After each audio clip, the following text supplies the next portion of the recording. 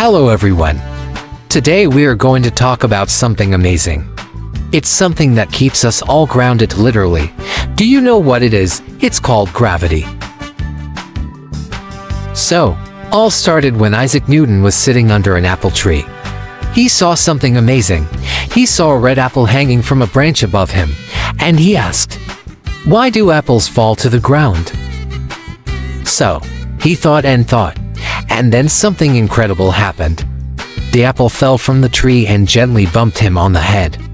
That's when he started thinking even more. Isaac realized it was a big question, and he decided to find the answer. So, he studied, read books, and did lots of experiments. Gravity is the force that the Earth has. It's what keeps us from floating away into space. Imagine if there were no gravity. We'd all be floating around like balloons.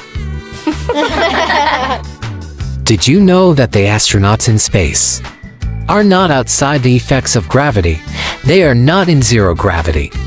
They are simply experiencing microgravity. I mean they are simply falling indefinitely. As they fall, they move forward, and this way, they never reach the Earth. In Einstein's view, gravity is the distortion of this fabric that we call space and time.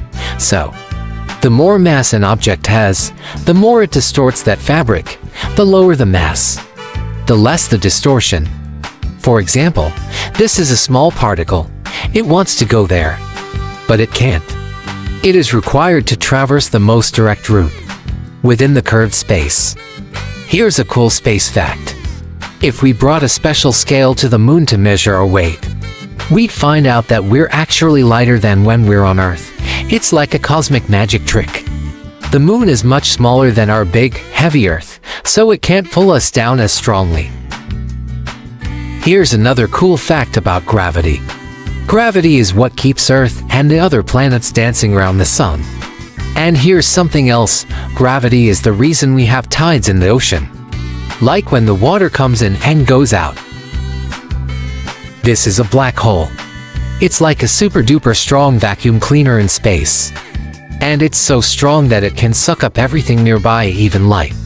Because of its immense gravity. We call it a black hole because we can't see it. If you get too close to a black hole, you can't escape. It's like a one-way door, and once you go in, you can't come out.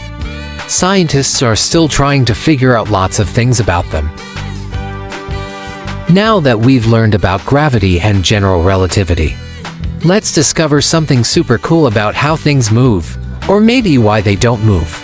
Imagine you have your favorite toy car, and it's just sitting there. It's not moving by itself. Right, well, that's because of something called inertia.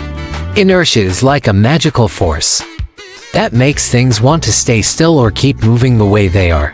You see, your toy car doesn't like to start moving all by itself. It needs a little push from you, but once you give it that gentle push, it loves to keep moving until something else, like your hand or a wall, stops it. And guess what? This law isn't just for toy cars. It's for everything, like your ball, your bike, and even you. So, the next time you see something not moving or zooming around, you can think of Newton's first law and remember, things like to stay still or keep moving until something makes them change. And when it stops, it doesn't want to move again unless you give it another push. So, what does this mean? It means that things like to stay how they are, whether they're moving or not. That's Newton's first law, the law of inertia. Inertia is like a secret friend that helps things decide when to move and when to stop. Thanks for learning with us today. Stay curious and keep exploring the magical world of science. If you want me to make a video about something you like, please write to me. I will be happy to create that video.